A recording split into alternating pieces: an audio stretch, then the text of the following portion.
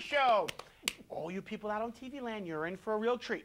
One of my mentors in magic, one of the world's most prestigious wizards in all of history. My mentor, my friend, Mervin the Wizard!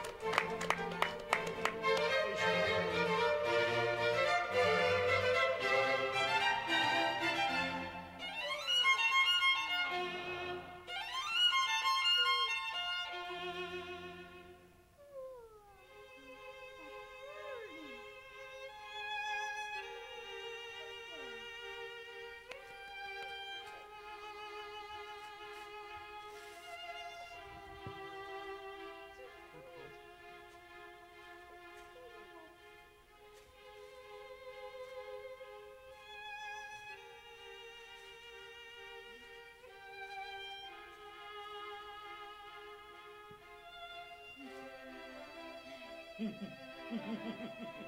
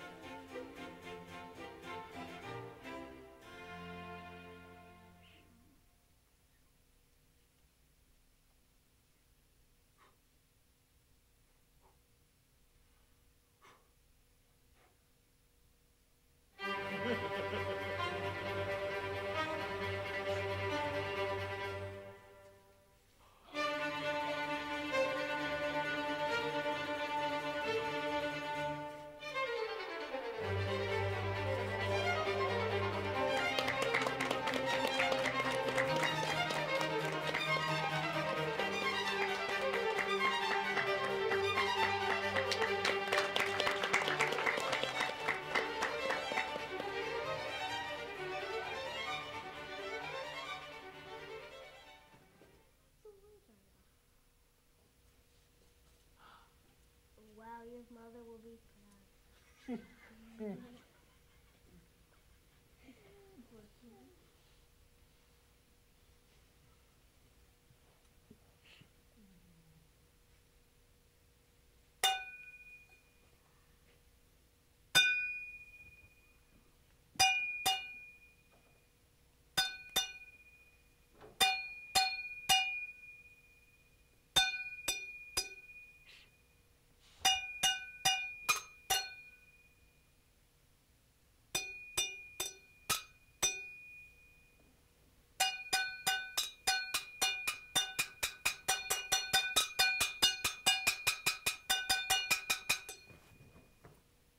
Oh,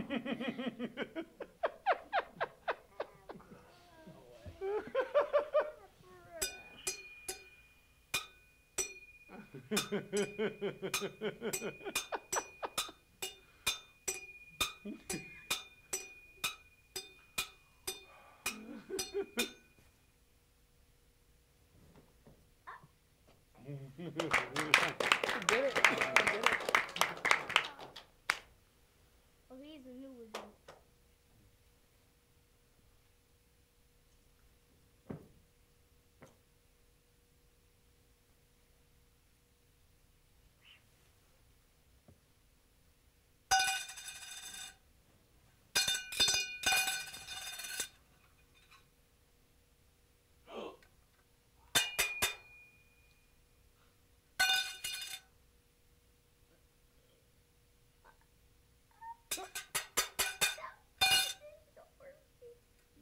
Again.